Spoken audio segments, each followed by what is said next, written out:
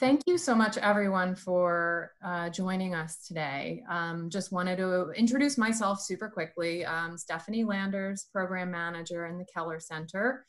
And um, my office is in the Princeton Entrepreneurial Hub, which if um, in a perfect world, we would be there today having a nice lunch um, in our event room. But instead, we're on this webinar, and I'm happy that everyone is joining via Zoom. Just wanted to let everyone know that um, the session is being recorded. Um, that's so that anyone who couldn't join can watch it at a later time. And it also helps us to, um, you know, determine what, what things we want to refine for our next webinar. So um, we just want to remind you to please keep yourself muted when you're not speaking.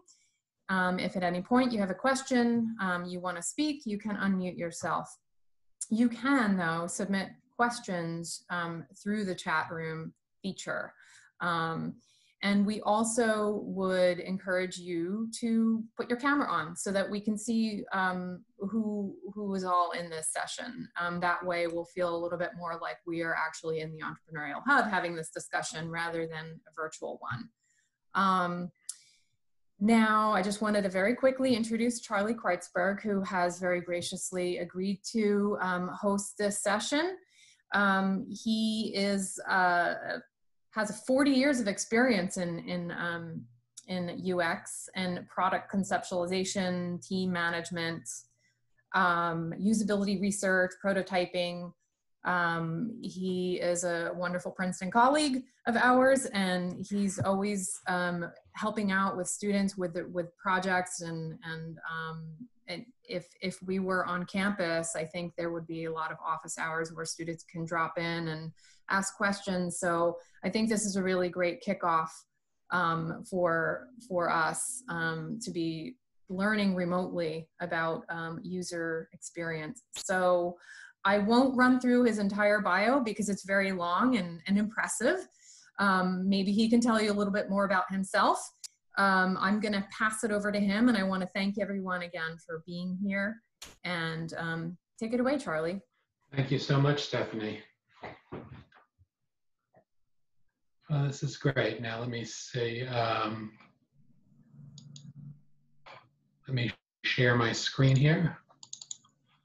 So can everybody see this okay? Yes. Great. So welcome. I'm so happy to be doing this today. I do also wish we were together at the at the hub, and I wish I were having lunch, but I'll get some when this is over. Um, it's been really interesting from a UX point of view, um, trying to deal with Zoom and all of this, um, um you know, the, the, the experience of working remotely and learning remotely and teaching remotely. One thing I learned uh, couple of days ago was that the side-by-side mode works really well uh, if you don't know that. So what happens is if you pick that on the top, then you get the gallery on the right ah, and the slides yeah. on the left. And that's pretty good. I, I, do uh, invite you to start your video because it's really great to um, to uh, to see the faces and to try to feel as connected as we can. Um, and um, yeah, so hello and welcome. I, listen, I, what I'd like to try to do is keep this as much of a conversation as we can. I, I'm not a great lover of lectures, and I'm sure you're not either. So we're all adults, and I think we can we we don't have to do too much worrying about uh, managing this. I think if you have something to say, you know, keep yourselves on mute so you don't get too much background noise. But then if you have a thought, you want to say something, uh, press your space bar, you'll unmute yourself and just jump in. The better the conversation, I think the more we'll all enjoy this. Uh, I also have some thanks to give. There's an African proverb that says it takes a village to raise a child and uh, it apparently also takes a village to put together a webinar. Uh, Stephanie and I started talking about this, I think it must have been, what, about eight months ago. Um, and uh, a whole bunch of folks have been helping out with this, and I just really want to thank them in an alphabetical order. Carrie Collins, uh, who works for the uh, Keller Center and is one of my UX colleagues.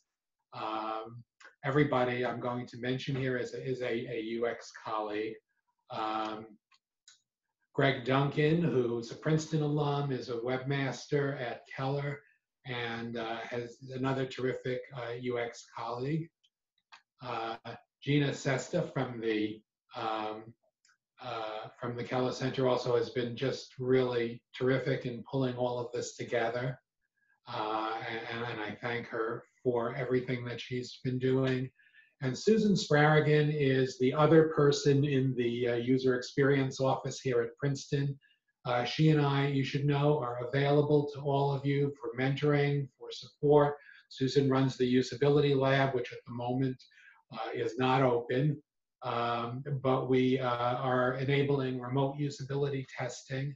And so uh, please feel free to contact us for any sort of support you might need in user experience, because if you want to be an entrepreneur and you want to be a successful business in the 20th century, UX is something you really have to understand uh, and deal with. So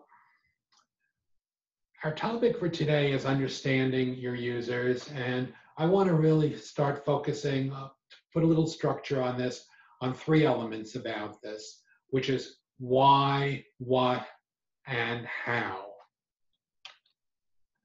So the first question uh, is why should we care about understanding our users? Maybe that seems like a totally obvious question. Um, although I have to tell you that in my experience in life and in some 40 years in the IT industry, it's not something that everybody uh, accepts. The second thing is, what do we need to understand about our users? This gives us some sense of structure. And finally, how can we learn about users? And most importantly, how can we turn insights into actionable design? Because the goal of all of this ultimately is to inform the design that we do. So let's start by talking about the why we should care about understanding our users. And um, I guess one of the answers is that if you don't understand your users, you can make terrible mistakes. And um, here's one of the classics in business. Um, I remember, I actually remember when this car came out. This was the Ford Edsel. And for about a year, this Ford Motor Company spent an incredible amount of money on this car. It was supposed to be the car of the future. It was going to completely change the world. They put this thing out there and nobody cared and nobody liked it. And I think it lasted about a year and Ford ended up closing the entire division. They lost something on the order in today's dollars of $2 billion uh, in this debacle. Another one, which is, uh, this is the Commodore PET. I have a lot of affection for this particular machine. This was, I think, the first piece, one of the first PCs that came out that was really, there were a couple of others uh, that were sort of hobby machines, but this was really the first um, machine that was commercial. Um, it's, it's a personal love of mine because I had serial number 006. And um, when I got this machine, um, must have been about 1981 or 1982, I turned this thing on and I started typing in BASIC, and I was absolutely blown away. I've been using computers um, since about 1964, which is when I entered the field. Uh, but the computers I used were huge. These were room filling mainframes, and they cost millions of dollars. And I had never heard of something this small, and I didn't believe it could actually work. But it did work, and it worked amazingly well. Um, the thing that's interesting to me on the side is the cassette tape player recorder, which is what they use for recording programs. So if you wrote a program, you would then put in a cassette tape, you'd press record, it would take about three or four minutes and the tape would record it. And then later you could take that tape, put it in and put the program back in. There were no discs at that point. Um, but Commodore made a really bad mistake, which is they um, they were selling about 2 million machines. They were completely beating up Atari, IBM, and Apple. And those companies were absolutely in terror. And then Commodore decided they would enhance the machine, and they came out, after the PET, they came out with the Commodore 64, which was black and white machine. It used a TV set. It was their huge seller. They said, oh, we're going to come out with a Commodore Plus 64 Plus, which is color, and everybody's going to want it. And guess what? Nobody wanted it. And Commodore went into bankruptcy. And uh, interestingly enough, in my consulting life, one of my clients was QVC. And I used to go down to the QVC headquarters, which is in Pennsylvania, which was Commodore's old headquarters. And uh, often when I was talking to the folks at QVC about the importance of UX and technology, I'd say, remember where you are. Uh, there was once a leading company in these headquarters, and they did not survive because they made mistakes. So that leads to this basic thing, which is that when you make bad assumptions about your users, you make mistakes. Um, here are three, and uh, you may have some assumptions. I'm just, you may have some assumptions on your own, of your own that we should add to this. These are three that I, I've, I've frequently uh, found. One is we understand our users. A lot of times we think we understand our users, but we don't understand our users. A second one is that we think that users understand things the same way we do. And often users understand things differently. They have, uh, and we'll go into more depth about what that means specifically. And the third one, which is one I think that has grown out of the fact that the computer industry started in business, is that um, our users are going to make the effort to learn how to use our products. Well, when I started in this field, many years ago, it didn't matter whether the stuff we produced was usable because you know what? We were paying people to use these things because they were employees, and the answer was learn to use it or lose your job. But once the internet came out and, and uh, computers shifted from being this sort of arcane environment to a, a mass market thing, all of a sudden users became discretionary. They don't have to use our thing they can go to a different system. They can go to a different vendor. Uh, it's completely discretionary whether they use it or not. So the fact is, very often users will not make the effort to learn how to use our products uh, unless they really see a payoff. Now, let me point to the icon that's at the bottom of the screen, the blue circle. That is a, a an indication that I'd like to, uh, on the slide, uh, offer you the opportunity to jump in and make comments or or chats. So let me invite you. Does anybody have any comments, thoughts, other assumptions that you're aware of? And don't be shy. So one one quick question. Hi. Sure. Uh, I'm Yu Zhou. I'm a grad student in East Asian Studies.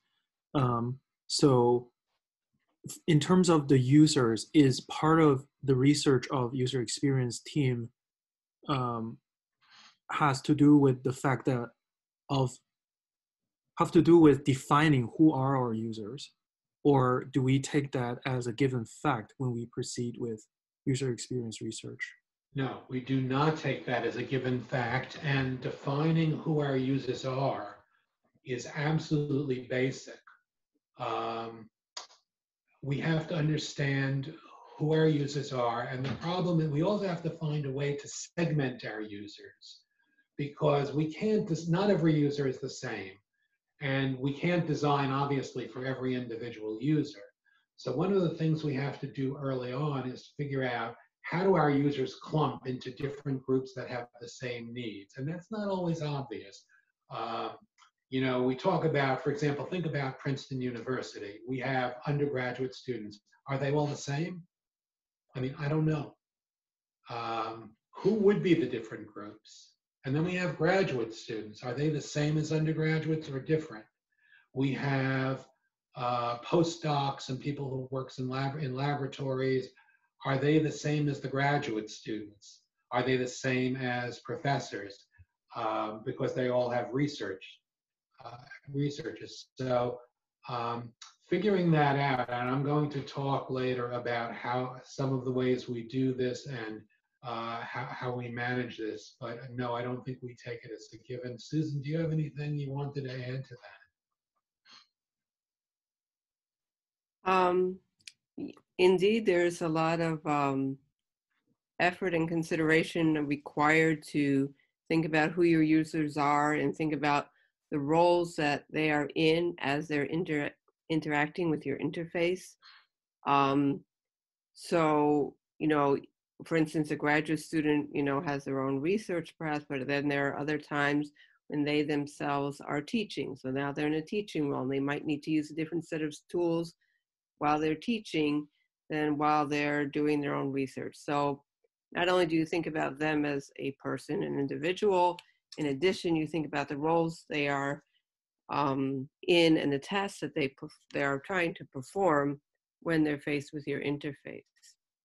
And I just want to add another um, ideas about assumptions.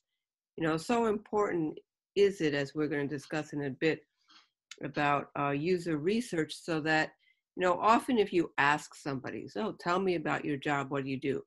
They might describe it, but when you actually observe them, what they do is different than what they say.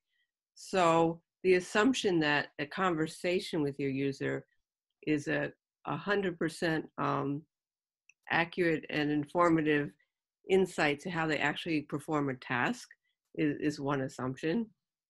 And also, even if you're to watch what they do now, you also don't want to make the assumption that what you're going to offer them next should exactly replicate that because you're always looking to improve and add efficiencies to what they do now.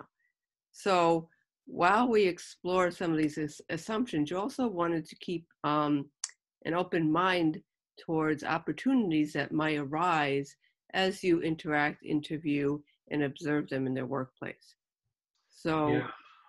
I think a lot of the assumption challenging goes back to having a mindset that even with what you think you know for sure might be um, corrected or altered as you interact more with your end user community. Yeah, I mean, there's a, a really a classic, um, there, there's a classic quote from Henry Ford who said, um, if I asked people what they want, they would have said a faster horse. So if your job is innovation, uh, the way you, you learn about your users is very important.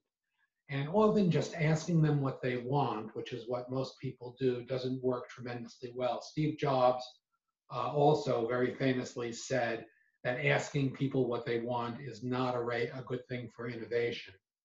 I want to say one other thing about that, which is the role of UX um, in your lives as entrepreneurs. Um, some of you are, are building products where the product itself is what you're selling. But some of you may be doing something that is not technical at all. Um, I recall one of the uh, uh, projects at, at Keller uh, that I saw last summer was around an orthopedic boot uh, that was being built. But even when you are doing things that are not intrinsically technical, it is inevitable that you will be using technology to attract people, to educate people for customer support.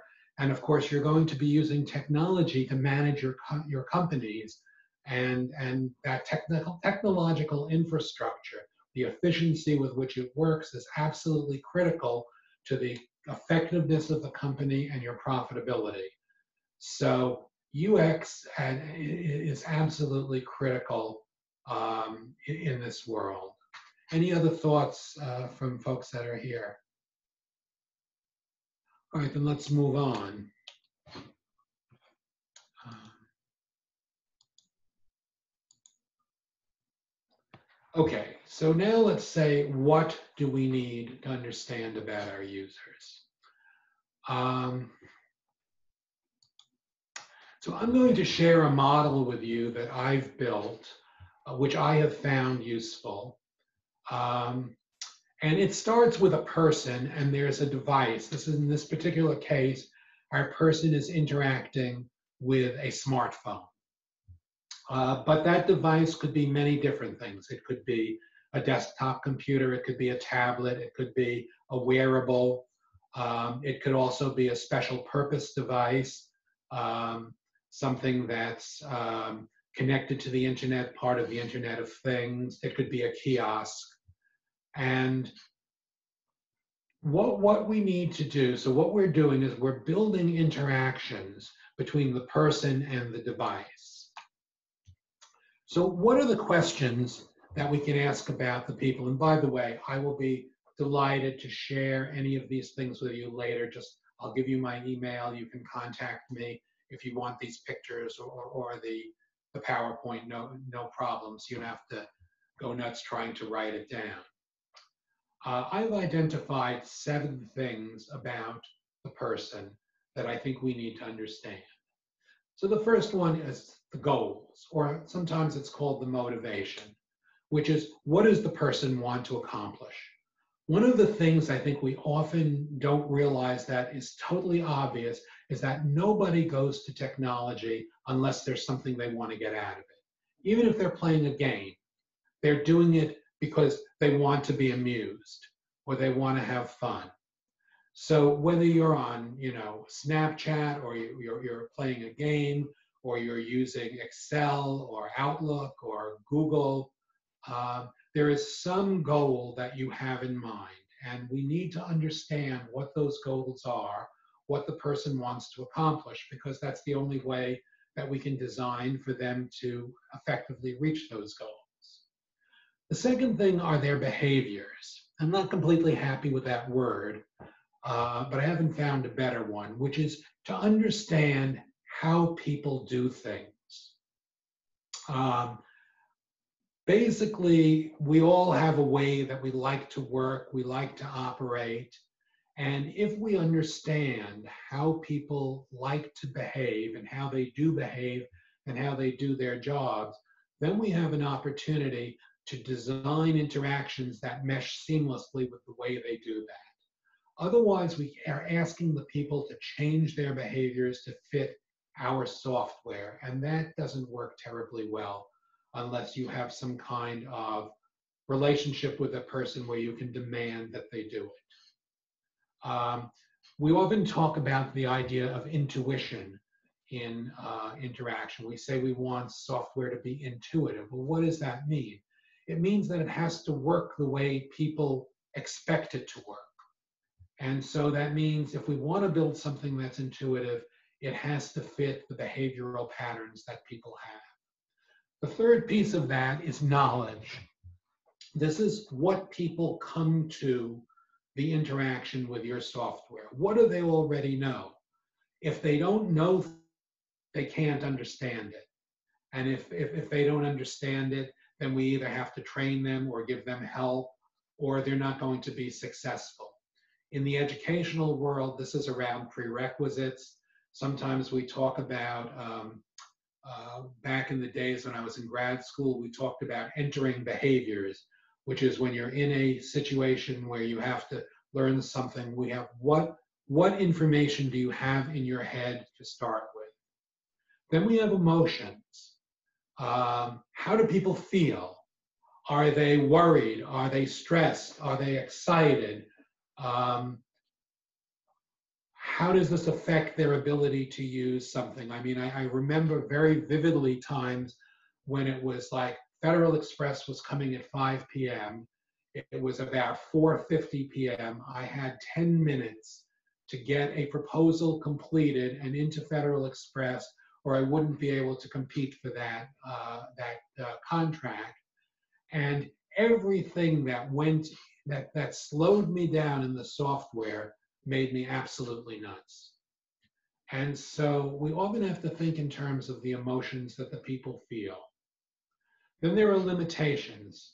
What can't people do? Now, this obviously accessibility is one piece of this. If people are disabled, this is a really big issue. Uh, I've come to a point in my life where my vision is much less acute than it was years ago. And as much as I love Apple's light gray on white, the, rea- the reality is I can't see it. And often when I get on my smartphone and I have five point type, I can't see that either. But it's not only the physical limitations. Uh, people may have all sorts of limitations around the way they can interact with software. So it feels like understanding that is important. And finally, beliefs. What assumptions do they have? What biases do they bring to it? What concerns do they have about trust?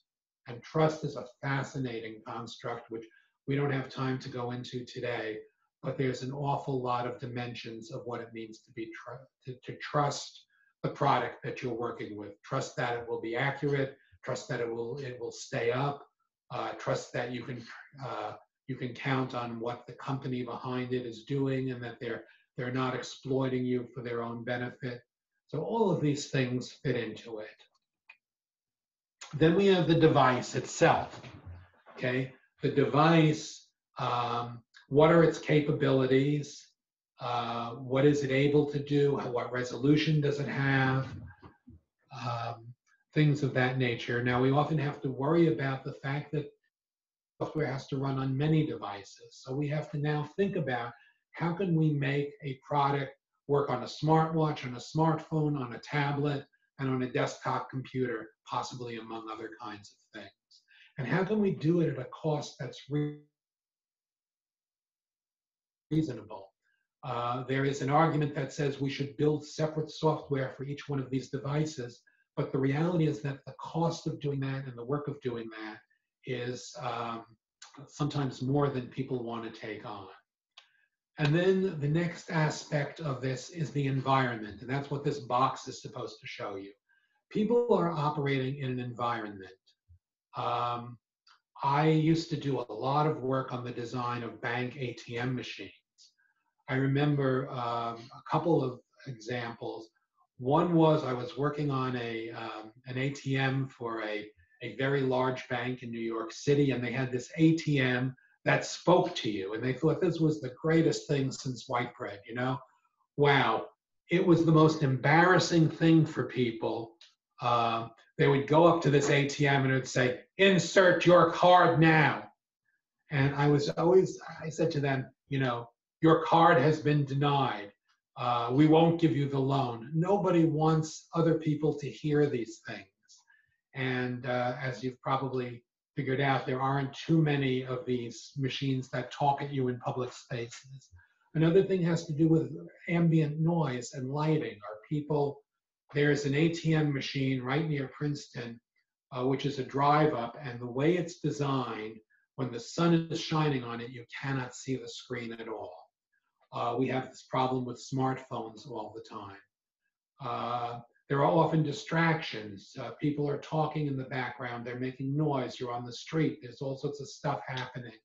So we have to think about all of these things. So I have found this model, uh, which I'm able to, to have on a single page, a really useful thing um, for me to help me um, think about all the aspects of the things I want to understand about my users. Uh, and I, I, came up with this little uh, sort of equation at the top, which says that design is built on the person, the environment, and the device. And these are the three general areas that you need to think about. So again, let me open this up to comments, discussions, Does this work for you? Does this make sense? I have a question about this. Sure. So, if you can't control the environment that the person is going to be in, or if all of them are going to be in very different environments, for example, if you have an app for a smartphone, how do you think about that? Well, you try to think about the way, the places that people are going to use things, and think about whether there are ways to, uh, through design, to accommodate that. An example of that um, is that let's say I'm uh, I decide I'm using uh, my I'm, I'm working this in my bedroom late at night. If I'm going to watch a video, it's awfully nice to have closed captions because otherwise my wife is going to be really annoyed that I'm I'm listening to video at two o'clock in the morning. So there's an example of something where you know it's really built for people uh, that are deaf, but it's extremely useful in other kinds of environments. Um, sunlight is always a big problem when, when you come to smartphones. Uh, they tend to wash out the screens and it's really a very difficult thing. Maybe we can, um, you know, work with bigger colors, more bright colors, more contrast, uh, and deal deal with that. So um, let me uh, again ask if anyone has any other thoughts about that. It's a really good question. So how how does the how does uh, aesthetics fit into this picture? I'm sorry, I could not hear that. Sorry, how how do aesthetics fit into this picture? Aesthetics. The aesthetics of design. Um, aesthetics, you know, did I get that right? You're asking about design aesthetics? Yeah, yeah, yes. Yeah. Yes. You know, that's really very interesting because in my early days as a designer, I really, really cared about aesthetics. And uh, I was extremely frustrated when I, I, I, very early on, I hated designs that used fluid designs when I couldn't control where everything would appear exactly on the screen and the size of the fonts. And um, what I've learned since then is that a really good designer can maintain a, a high level of aesthetics and still have a lot of fluidity in the designs. Um, you have to be able, you have to think about that from the beginning. So an example of that is text flow. It may be important, for example, for a user for you to be able to adjust the size of the fonts either because they are low vision or they're not very good at it, or because they're in an environment where it's difficult to see the screen. And one of the things you can do is you can enlarge the fonts. Coded it properly, those fonts are going to get cut off on the right side of the screen, and you then force people into uh, the need to scroll horizontally. And if you have to scroll horizontally, it's almost impossible cognitively to understand the information that's there. I used to work with a lot of artists and I used to battle with them all the time over aesthetics. I, I, would argue, I mean, I love aesthetics and I love beauty and I think that it's very, very important that we make our screens beautiful. But that always has to take a second um, be, be secondary to comprehension, understanding, and usability. I think usability has to be first and aesthetics has to be second. I, so I just want to add to a couple of these um, comments. So this this slide really, uh, in its totality, really makes us think about the context of use, both from the person's perspective and their immediate environment.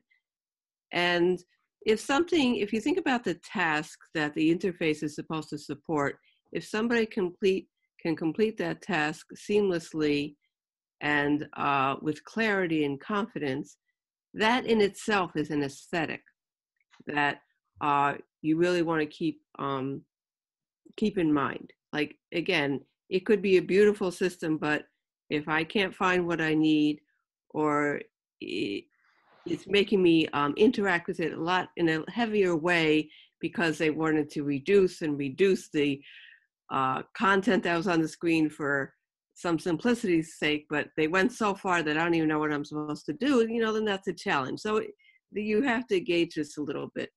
And also a little bit about, you know, the environment in a mobile device.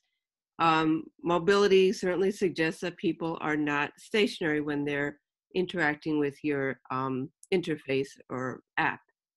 So one thing to uh, consider there are some, again, going back to some core concepts of, are you relying on them to recall what they just uh, selected? Or, and and if they're so distracted by what's around them they might not be able to and they'll have to keep going back and forth. Where was i? What did i say? How did i answer the previous question? So um, a lot of the aesthetic and keeping in mind again that you're moving around perhaps if you're doing an app is that you have to make um, their ability to complete their test to be uh, straightforward and thoughtful that you know they might not be able to concentrate in one solid setting as if they were perhaps in their home office or even even then you have your distractions but anyway there's a lot to be considered about recognizing that people might be interrupted and how to design to support that you know, I love modern design, uh, but I always am completely, you know, one of the things that just always amuses me are chairs. So I have seen, and it's really interesting if you get on, just get on the internet and Google chairs and then go look at some of the chairs that are there. And there are some chairs out there that have absolutely gorgeous aesthetics. They are so uncomfortable looking um, that nobody's ever going to want to sit on them. And I actually have some great slides of those, which, which I won't be able to access right now.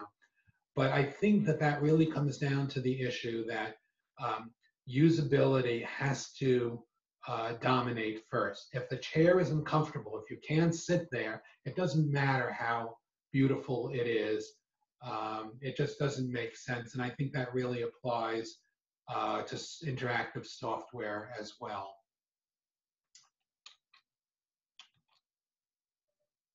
Okay, and then so we were talking about why, and now we, we've talked about what we want to understand. And now we want to look at how can we learn about our users and turn our insights into actionable design. There are really three basic techniques. I mean, if you if you look at user research literature that's out there on the web, uh, if you go to the um, the Nielsen Norman Group, which has wonderful um, articles that are free and available on the web. And there's one on user research where they they list about I don't know 27 different techniques uh, of potential uh, ways that you can gather information about your users. But ultimately, they pretty much fall into three categories, it seems to me. So the first one is interviews, which is talking to your users. And generally, we talk, we do this on a one to one basis. Susan, I know you've recently been doing focus groups uh, at Princeton, and maybe a little bit later you can talk about that. Focus groups, for some reason, uh, are not well regarded within the user experience community, and I've never fully understood why, because I like focus groups a lot if they're used properly. You get a lot of interesting things. Um, one of the things I thought about, but we don't have time for today, is to talk about how to structure uh, an interview. If anybody's interested, I've got some materials I'd be happy to share on how to how to do a good interview. This goes back to you can't just say to people, "What do you want?" And you have to learn how to ask questions and not lead them, and how to listen actively, and how to probe, and how to warm them up, but once you do that, you can begin to learn an awful lot of information uh, from one-on-one in-depth conversations. The second thing is observation. It's watching people do whatever it is that you're going to build a project to do better. And um, in, in my uh, past life, when I did a lot of consulting, one of the things I often did was uh, I worked with a lot of call centers. And so I spent a lot of my life in call centers watching uh, call center agents interacting with people. And I would listen, I'd put on a pair of headphones, and I would hear how they did it and watch the screen, and I would see where they had problems. I wanted to understand their pain points. I wanted to understand uh, their workflow, and um, that then enabled me to come up with better designs to make their work better and uh, make it easier for them to achieve the work that they wanted to do.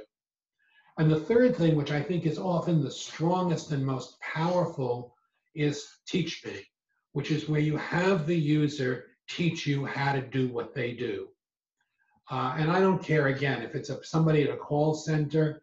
Um, I remember years and years ago, I was working for Citibank and I went to the call centers and I had them teach me how to do, how to be a call center person. And I actually, uh, with them sitting next to me, so I didn't uh, make people go bankrupt because I gave the wrong information. I actually worked in that process, and there is nothing that that gives you a deep insight as much as learning to actually do the task the way that they do that. That doesn't necessarily mean that the product you're going to build is going to do exactly the same workflow that they're doing. Maybe you have a better one, but you have to start with people where they are. And uh, so I have found the Teach Me to be very powerful. Any thoughts or questions about that? I do just want to uh, point out to everybody on the team if you go to our uh, newly modified website at ux.princeton.edu, ux.princeton.edu, there you'll find a menu item called UX Tools, and there is some things you can download about how to conduct interviews and other user research activities. Yeah, one of the things we've tried to do is create tools that you could, and right now they're fairly primitive in that they're basically PDF files that we've put in that give you the guidance of how to do things. The, the vision that I would love to do is ultimately to build interactive tools that become job aids that actually walk you through those processes. And that is often something you want to do in software as well, which is to say, if you're building a product, it's great if the product you build can actually walk the person through using it and, and getting them to, to uh, execute the tasks that you want. These are, these are called job aids. There's a lot of good literature on it, but I, it's something for some reason that we have not done enough of, in my opinion, uh, in the software world. Uh, I think a lot of programmers don't find it fun.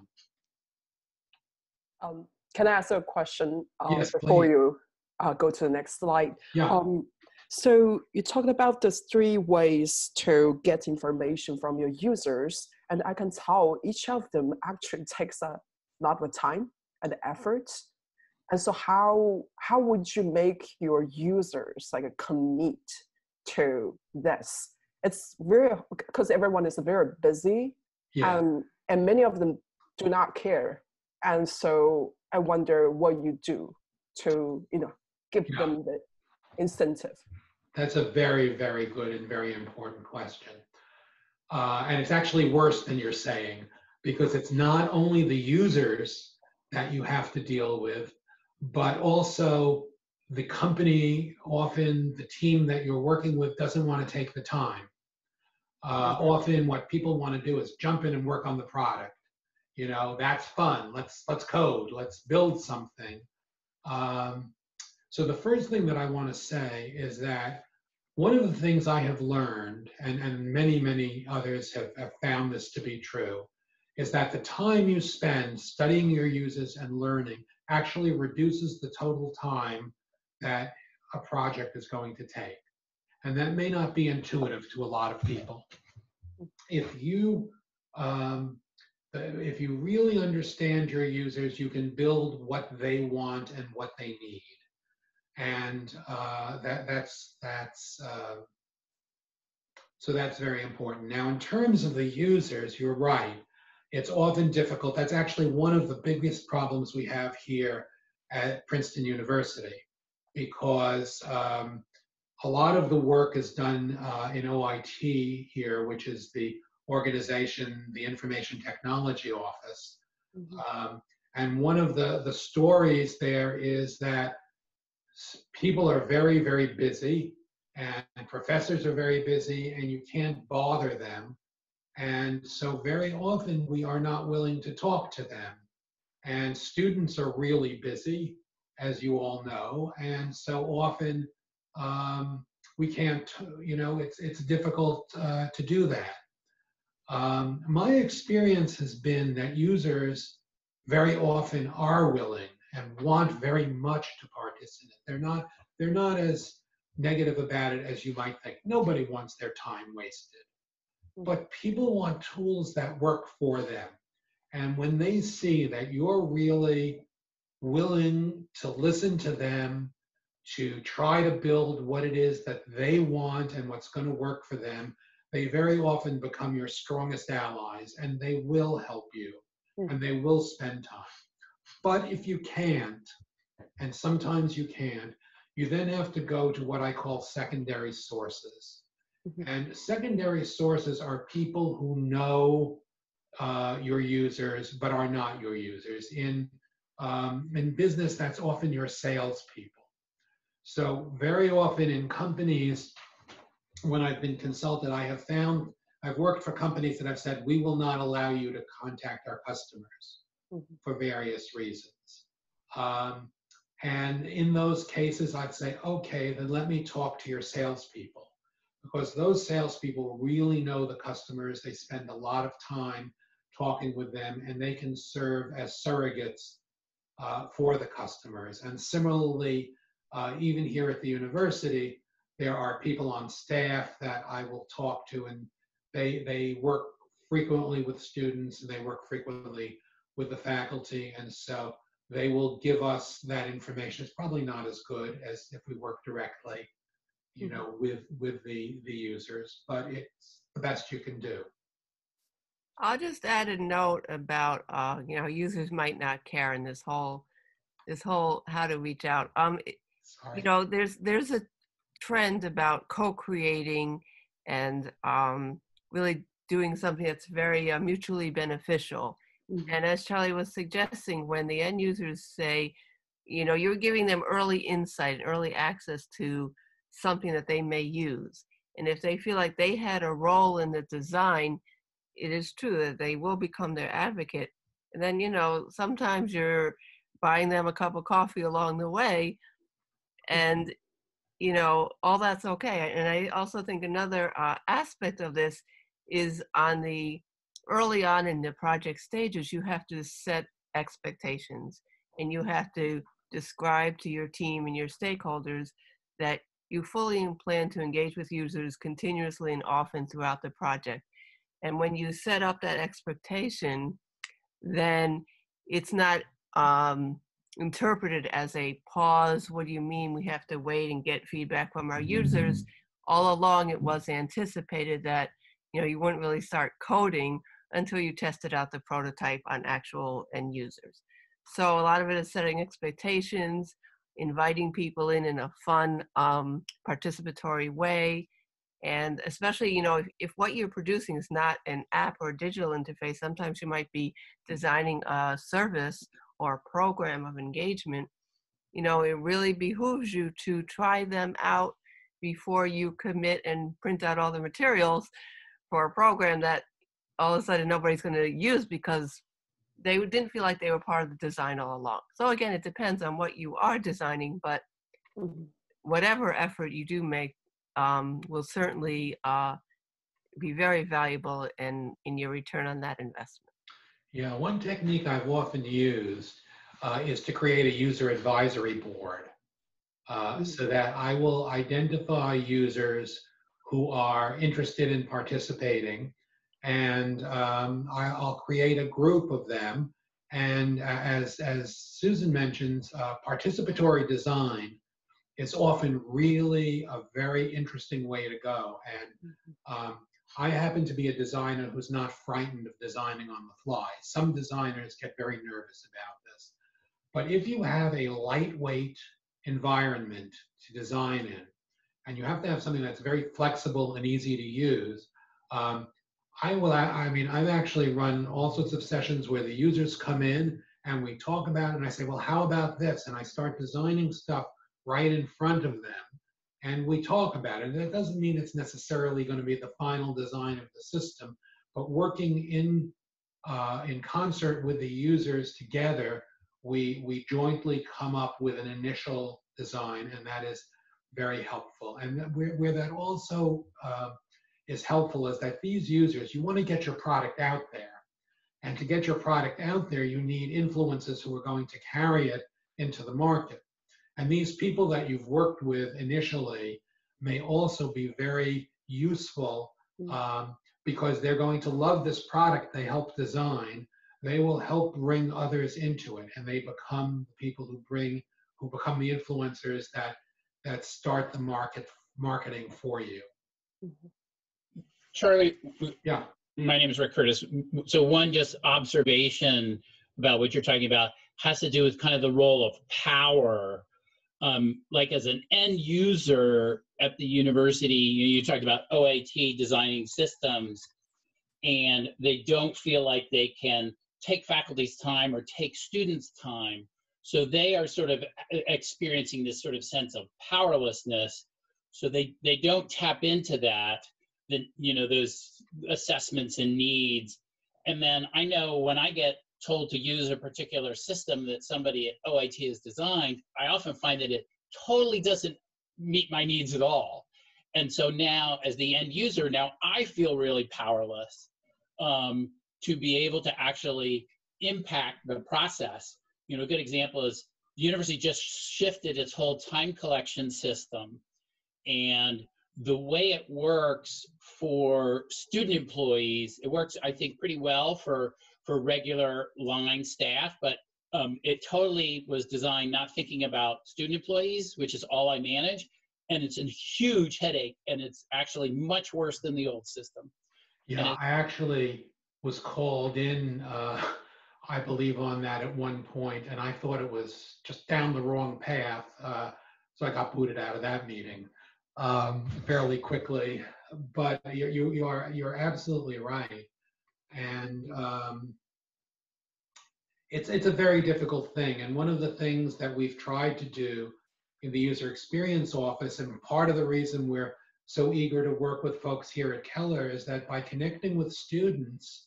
Um, we begin to under, we're more connected to the university community. We unfortunately are off campus. We're at 701 uh, Carnegie Center. Uh, we're not there every day.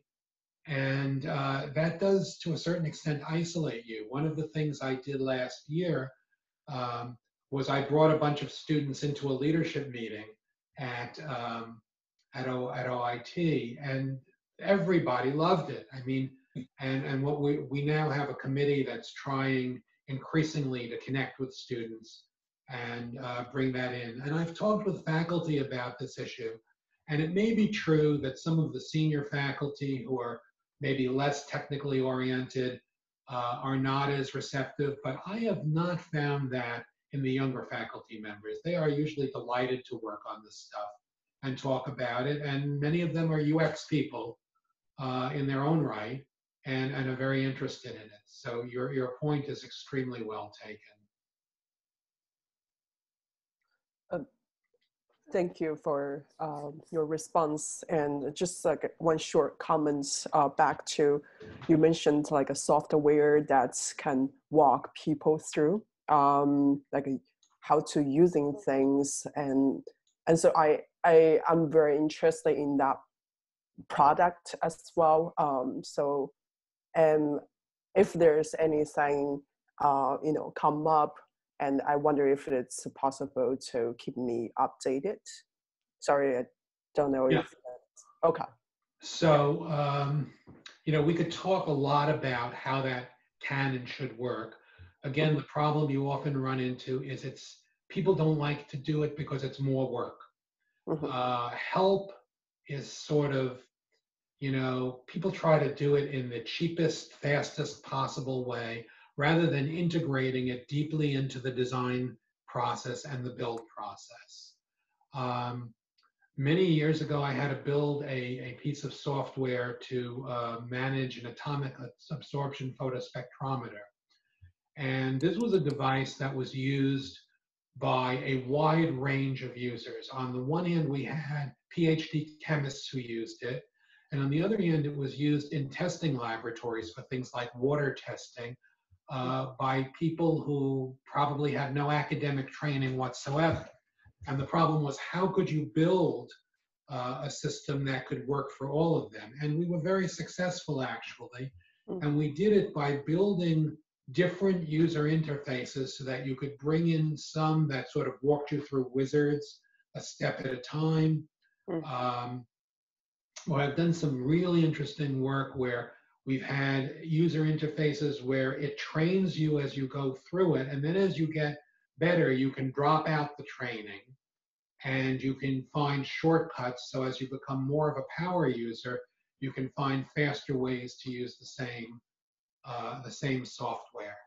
Doing this means you really have to have an understanding of how people learn and how people think, and you have to have a willingness to uh, to build the sort of stuff into the software itself.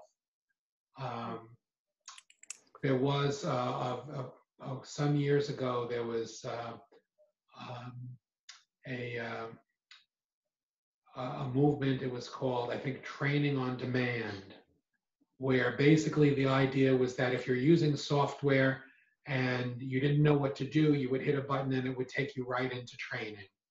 Uh, I've noticed that some of the startups are building fairly uh, good user interfaces uh, for their websites that at least orient people as they're coming in. Mm. So I'm seeing this this done done better. And uh, certainly, again, you know, anything that we can do to help any of you, uh, please don't hesitate to contact us. We're happy to try to find you the information or share it with you. Thank you. I, I wanted to shift to what I'm calling mapping. So mapping, there are ver various techniques for mapping, and mapping transforms data into insights.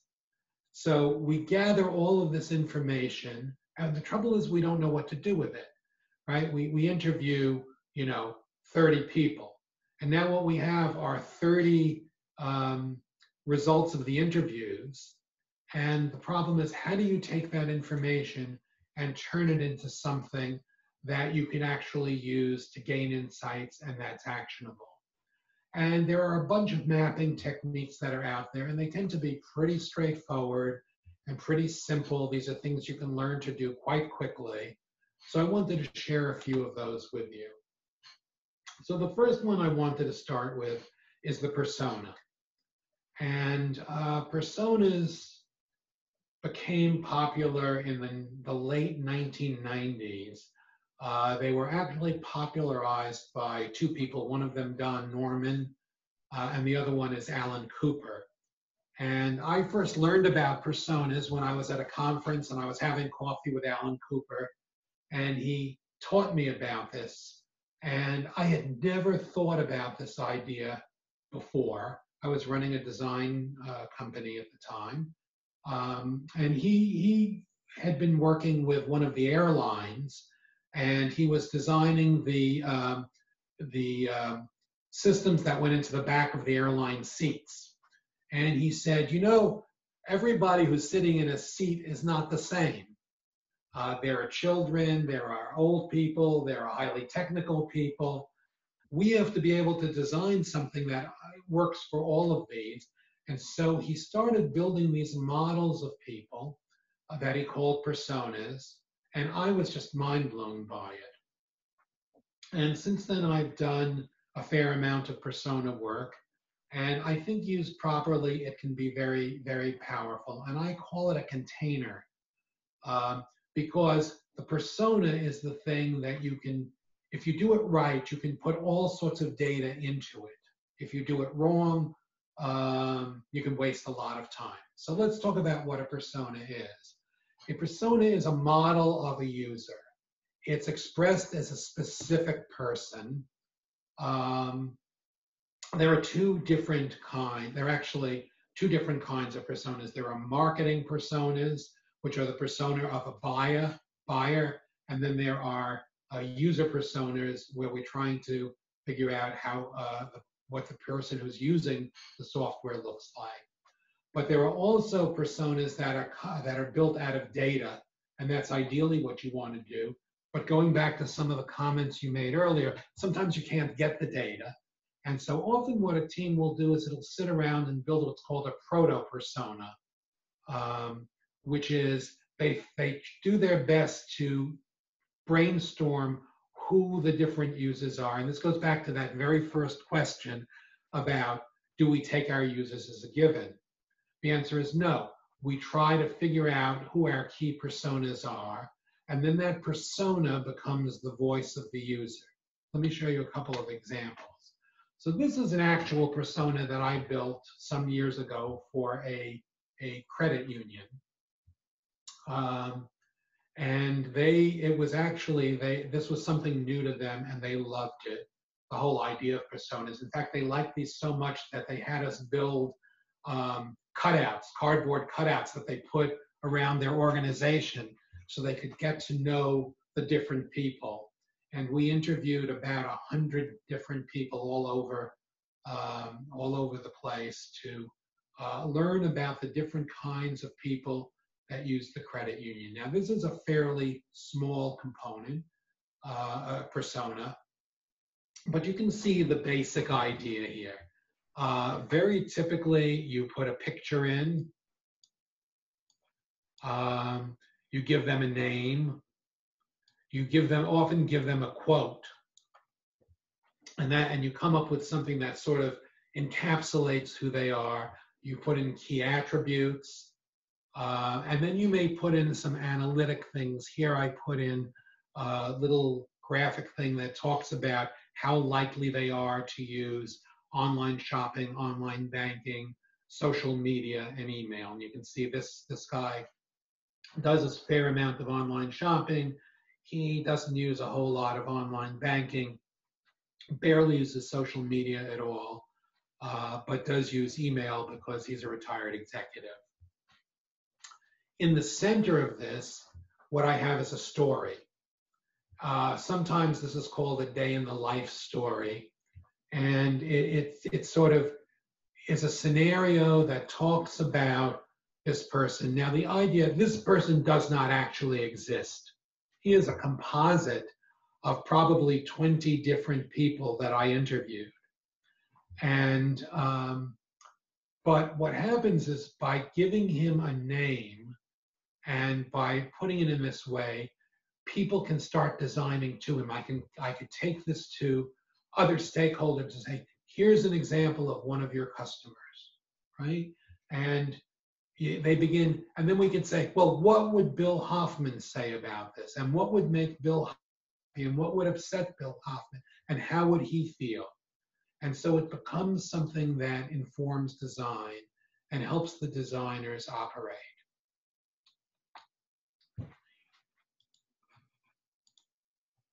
This is another persona. This one was done by Adobe. Um, and I guess I have really mixed feelings about this one, which is why I put it on. So if you look over on the right, you see they did personality. I don't know if you're familiar with the, uh, the uh, what, now I'm blocking on the name, the uh, test that uh, uh, puts people into typologies. Myers-Briggs. Remember the name of that? This is Myers-Briggs. I'm sorry. Myers Briggs. Yes, thank you. The Myers Briggs. Um, so I don't know how how valuable it is to put the Myers Briggs in there. Uh, then they put the technology in there, so you know various things they use, which I had in the other one. Um, they give him a name, an age, an occupation, some demographics uh, again, a picture. Uh, they talk about motivations, goals, frustrations, pain points are very useful, and a little bit of a, uh, a bio, and then brands that he likes to use. Um, so if you go, all you have to do is go on Google and type in persona UX, and you will find hundreds of different personas that you can look at. Some of them are very beautiful. Some of them are very long. I didn't know how to do it here, but I've got one that I developed that's, I think, eight pages long. And the stories are really extensive. Um, or you can have something like the prior slide I showed you, where I actually built them on PowerPoint slides. Now, let's talk a little bit about it. Um, how do you see the value of personas and what limitations do you think they might have? Um, Charlie, I just want to point out that we have maybe 20 minutes left. Yes.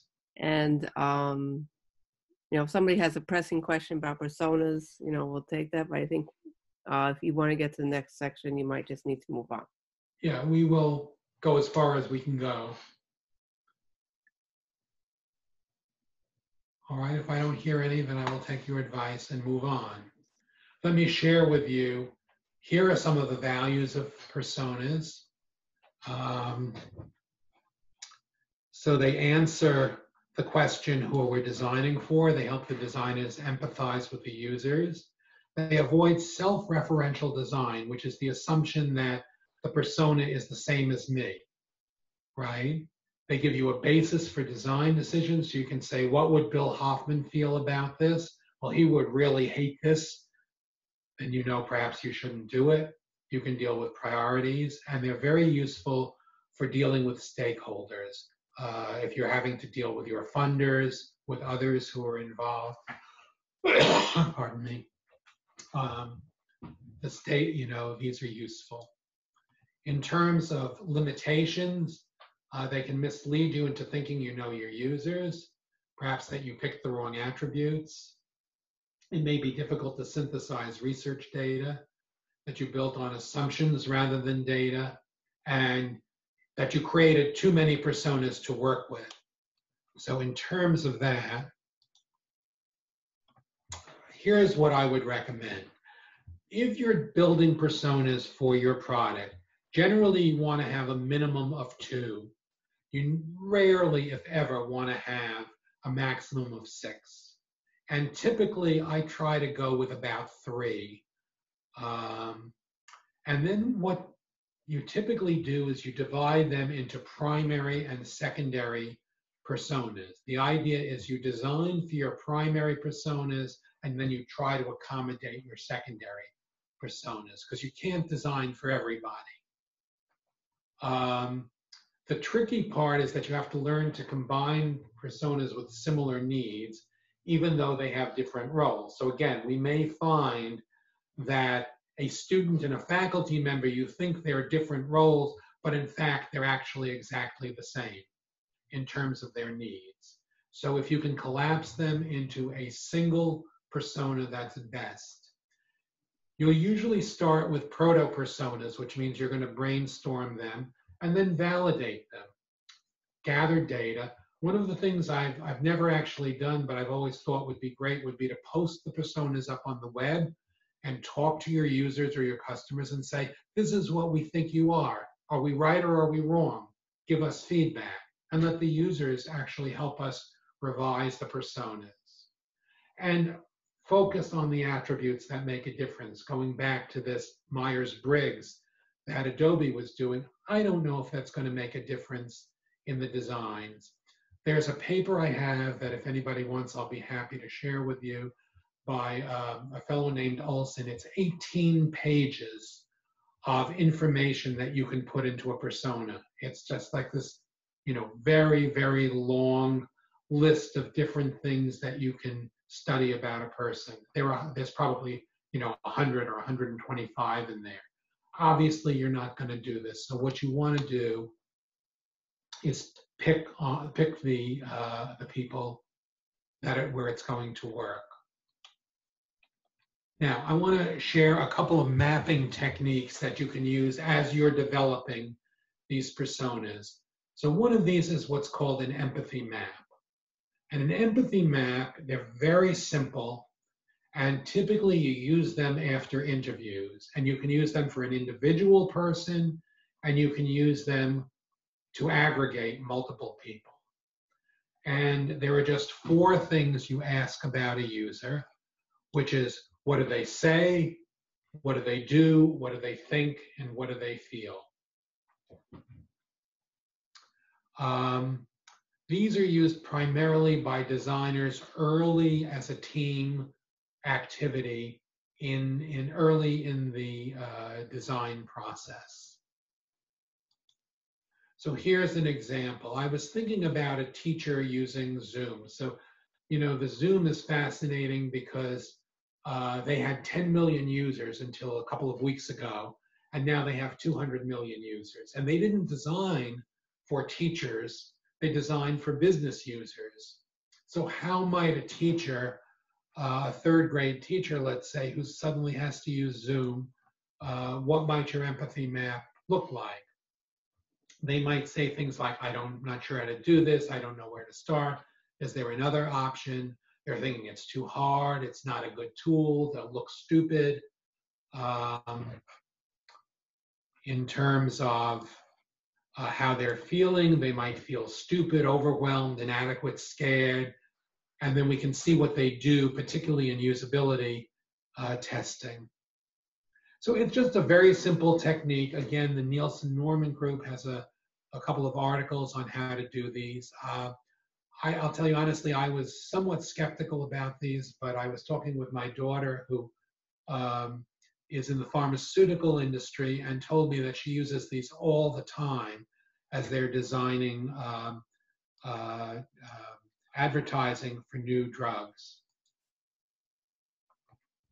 I want to, and again, I'm going to very quickly just share these ideas with you, and uh, you may you'll have to research them a little bit uh, to learn how to use them. Jobs to be done is a very interesting technique that um, was developed by a fellow by the uh, Professor Christensen at Harvard University He's got an article in the Harvard Business Review that you can look up.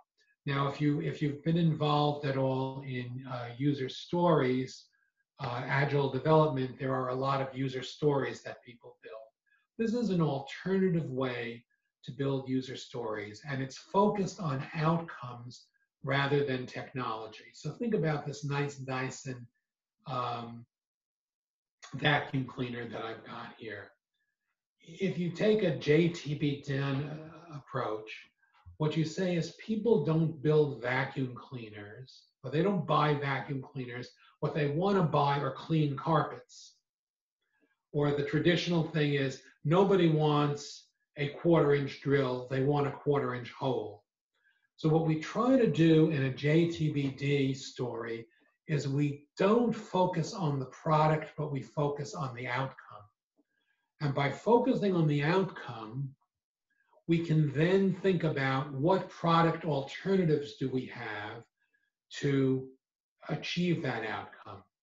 And people who are big in jobs to be done believe that this is the best way to do innovation because through innovation, because by not focusing on the product but focusing on outcomes, you can come out with new ways of doing it. For example, you don't need a vacuum cleaner. Maybe, um, you know, I guess uh, what somebody said is if you write traditional stories, you would think about better and better vacuum cleaners. But if you use jobs to be done, you're going to think about designing a Roomba because it's a more innovative technique that gets you the same outcome. Typically, in a jobs to be done story, there are three parts to it a situation, a need, and an outcome. So here's an example um, of a, a JTB story. So when I'm hungry and I'm driving in my car, that's the situation. I need something I can eat that's not messy. I can't tell you how many times I've had to go to a meeting with something all over my shirt because I dropped it there so I can satisfy my hunger without staining my shirt. And here's another one. Uh, this is a classic. Uh, when a new customer signs up, I want to be notified so I can start a conversation with them. Again, it doesn't tell me what the product is, it tells me what the outcome is. Give you a moment if you have any questions or thoughts. Now, you can build these into the persona. So when you're building the persona, we talk about stories, and same thing with the empathy map. So you can build an empathy map, and you can put it in there and say what they think, do, you know, feel. Um, in the and you can then have a series of jobs to be done in there and talk about the situations, the needs, and the outcomes that this particular persona wants. Now we're going to go to the final one I want to talk about, which is the user journey map. These are incredibly powerful. Um, there are some, I have a, there's a very good article that was published in Medium uh, a couple of years ago that I can, I'd be happy again to share with you if you're interested in this. Susan is actually expert in this area and I would like to see a lot more done on, on this. I'm going to just give you the sort of very basics about this. So a user journey, so this is an all, this is not an alternative to a persona, but um, I guess you could put it in a persona, but these are more typically used separately. So a user journey map is a visualization of the steps that a user goes through to accomplish the goal. So I put in a user journey for eating at a restaurant something we, we can't do these days. Um, so you arrive at the restaurant, you're seated, you're given the menu and you read it, you order your food, you're served, you eat, and you pay your bill. Now, obviously, we could build a much more detailed user journey map about this, but I didn't have more room on the slide. Each one of these boxes is called a touch point. It's a place where the user interacts with uh, my company or with my products. Now, this line, you see this line right over here between the blue and the red boxes is called the line of interaction. And the red boxes show the staff actions that correspond to the customer actions. So I arrive at the customer, the staff greets me. Then I want to be seated, so the maitre d' takes me to the table. And then I want to read the menu. The menu has to be offered to me and explaining the details and so on and so forth. So by doing this, we see the relationship between the customer actions and the staff actions. Now, in a company, you don't only have um, actions that relate directly to the customers because there's a kitchen that's in the back. So we have another line over here. And this line, with this very thick black line, is separating what's called the front stage from the back stage. The front stage is the stuff that the customer directs. The back stage is what's happening that the customer doesn't see. So I put a couple of these in, and sometimes it's difficult um, to line these things up um, with the with the customer, and, and sometimes you end up when you look at these, they you get all sorts of lines that go back and forth. But essentially, once the waiter has taken the order, it has to be transmitted to the kitchen, and then they have to cook the food, and that food is then given to the waiter so they can serve the customer for all of this to happen, there's a set of resources that are needed. And those are, uh, those resources are also typically placed into the backstage area. And these are the resources, the processes, the things that your company needs to have to support the operations. So let me, I have to move the, yep. So for example, refrigeration, you can't cook the food if you don't have refrigerators. And you have to have power to run those refrigerators. You have to have an inventory system that keeps track of the food that you've got. You have to have an accounting system that keeps track of the money. And you have to uh, have a system that will, after they bust the table and they bring the dirty dishes in, you need to be able to wash them. Many years ago, that was my job. I washed the dishes uh, in a kitchen. Susan, I want to invite you because I know this is an area that you're very expert in to talk a little bit about uh, these journey maps. And I guess when you have all four of these, uh, it, it, would be called a service blueprint. Is that correct? Yeah. So um, what Charlie has shown on the screen right now, the top half alone is a, is a user journey. But when you're trying to design um, an interface or a program or service that will impact that user journey, that's where it really behooves you to understand what are the backend processes that impact the overall user experience. So that's where in the second half you see this backstage area and together the user journey and the backstage process area that's called the service blueprint and there are lots of um, variations on this as well but one um, outcome of, of going through this effort of creating a service blueprint is to identify gaps in the user experience where you have an opportunity to create an intervention that would improve the overall outcome of the user experience. And um, when you say, well, you know, it's really, you know, people seem to be most aggravated, let's say in this example, between the time of reading the menu and ordering the food. And, you know, depending on how you tease out this journey, you could just focus on that one segment of the journey or whatever it may be to design something to improve the overall experience. So this Yeah, let me just, uh, overview Sorry.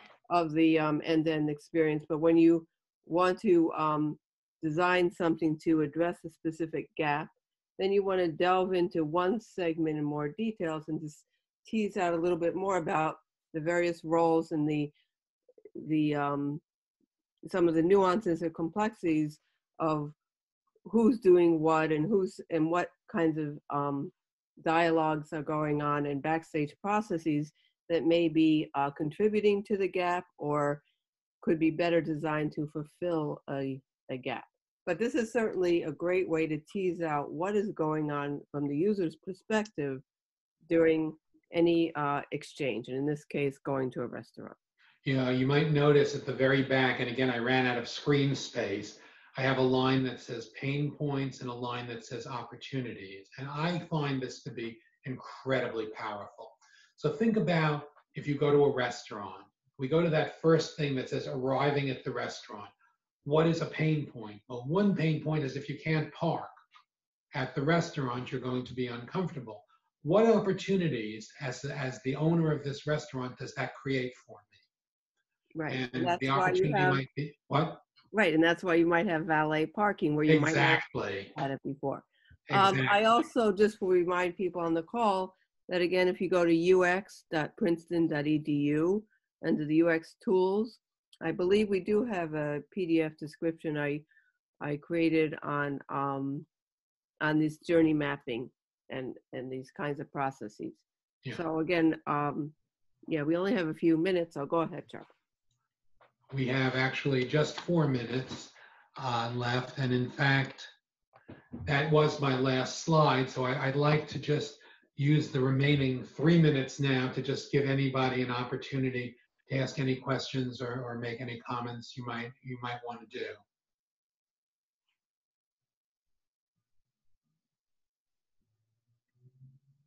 Um, so the idea of co-creating Yeah, a product with the users, I think it has, I mean, you mentioned that this has been a recent trend in product designing, and I can see what are the benefits of it. But do we know what are the shortcomings or risk involved in such kind of process? that's interesting. I, I I'm not aware of any.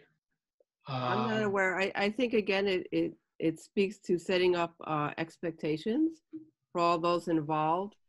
Um, you know, perhaps in the end, your project might not uh, deploy in the time that you might have told some of the participants. So that might be a risk. They might say, oh, whatever happened to that? And there could be various uh, reasons why um, they might not actually see the end product or their input in the first iteration of the product. But again, I think it just um, the the value of getting uh, direct input and feedback early on from a variety of participants and end users is is so high that it um, pretty much outweighs the risks, especially if, if you can manage your um, expectations and your relationships with your customers appropriately. Yeah, I have never had a bad experience working with users. I mean, in all the years that I've been doing this, it is so powerful and so useful. Um, I can't think of anything negative. I do want to really thank you for coming again. I want to thank Susan for taking the time to to, to co-teach and help. And uh, let me say we uh, we had originally planned on three of these, but we uh, the one for next week we canceled because we figured it would be very difficult to talk about user testing, um, usability testing in the in, in this remote environment. So we'll have to put that off until we can we can do it face to face. But in two weeks, uh, we're going to have a session uh, where we'll talk about writing for the web and how to create content that people can effectively consume. And I'd be delighted to see you there. Charlie, thank you so much. This has really been great. And thank you to everyone who has participated. Um, and we do hope to see you in two weeks on April 24th.